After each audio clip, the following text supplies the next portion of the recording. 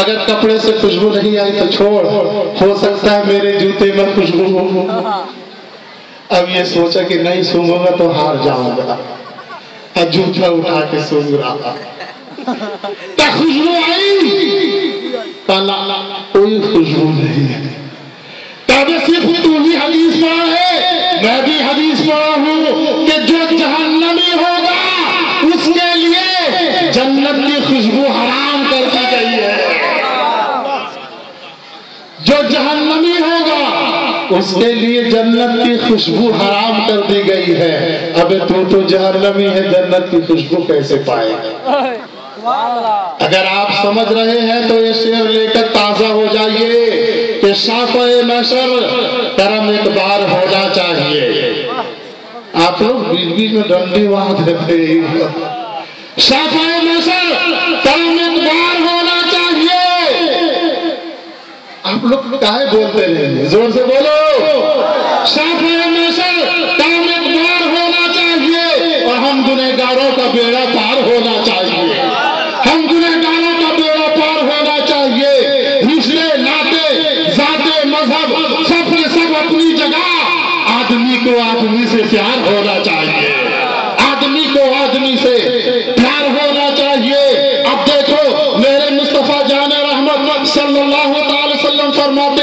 اللہ تبارک و تعالی جس کے ساتھ بھلائی چاہتا ہے، اس کو آزمائش میں مبتلا کر دیتا ہے۔ مگر سب کو آزماتا نہیں، میرے نبی فرماتے ہیں، اللہ تعالیٰ جس کے ساتھ بھلائی چاہتا ہے، اسی کا امتحان لیتا ہے، اسی کو آزمائش میں مبتلا کر دیتا ہے۔ مطلب کبھی آپ کو غریب کر کے آزماتا ہے، کبھی آپ کو کبھی آپ کو بادشاہ بنا کر آزماتا ہے، کبھی آپ کو اولاد دے کر آزماتا ہے، کبھی آپ کو اولاد نہ دے کر آزماتا ہے، کبھی آپ سے اولاد لے کر آزماتا ہے، کبھی آپ کو بھوٹا رکھ کے آزماتا ہے، کبھی آپ کو بیماری دے کر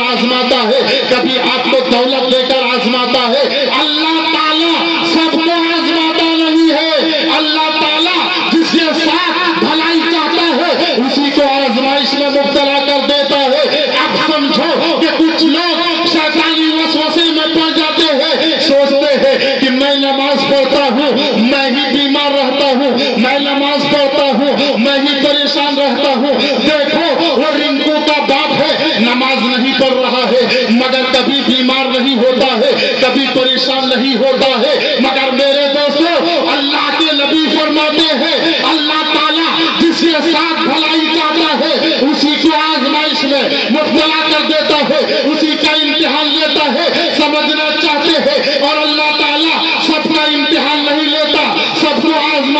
کرتا اب سمجھو، آپ کے سابر پور میں ایک اسکول ہے۔ اسکول میں آپ کا ایک بیٹا پڑھ رہا ہے اور وہی بچہ ششماہی کا امتحان دے گا۔ وہی بچہ سالانہ امتحان دے گا۔ جب امتحان کا وقت آئے تو آپ دوسرے بیٹے کو لے کر جائیے۔ ماسٹر سے کہیے کہ یہ بچہ میرا امتحان دے گا۔ دوسرا بچہ جو پڑھ رہا ہے وہ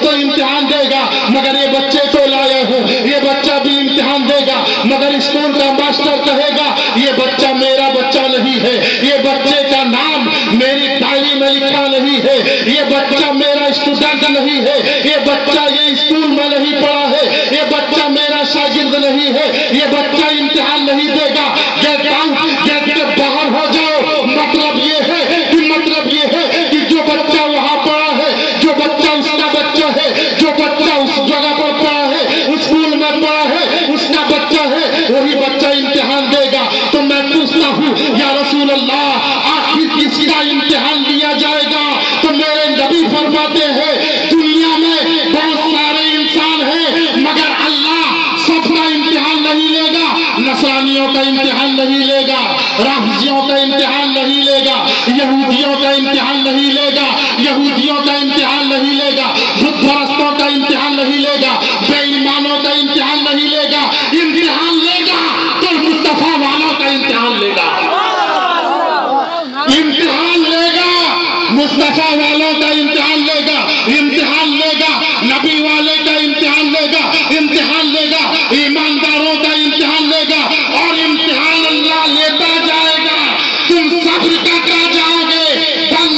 خوشبو بعد میں، لائٹ پہلے، روشنی بعد میں، ارشاد آرزو پہلے، شاعر اسلام بعد میں، یاسین اختر پہلے، شاعر اسلام بعد میں، اور شمس الحق پہلے، حافظ قرآن بعد میں، نسیم اختر پہلے، نقیب اہل سنت بعد میں، اور ذہن کو قریب کیجیے۔ نسیم اختر قادری پہلے، سرکار ملت بعد میں۔ زور سے بولو۔ نسیم اختر قادری پہلے سرکار ملت بعد میں، حبیب الرحمان پہلے، مجاہد ملت بعد میں عبد العزیز پہلے، حافظ ملت بعد میں نظام الدین پہلے، محبوب الہی بعد میں علاء الدین پہلے صابر تلیری بعد میں نظام الدین پہلے، محبوب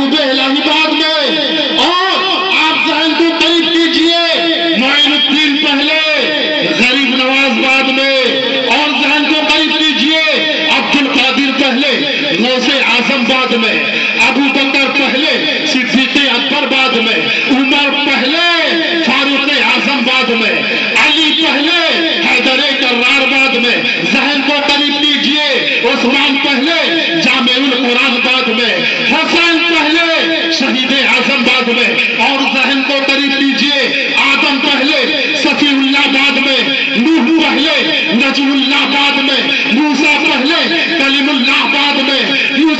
یوسف پہلے نجم اللہ بعد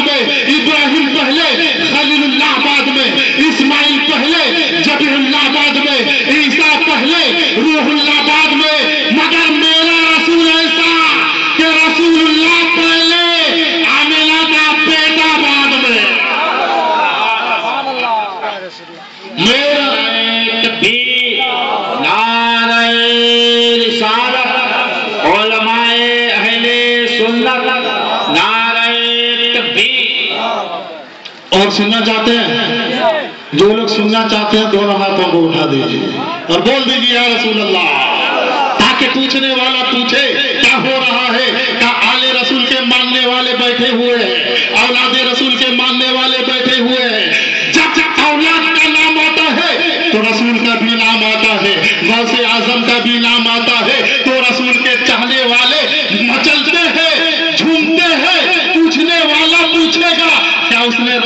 چہرے کو دیکھا ہے کہا نہیں نہیں کیا اس نے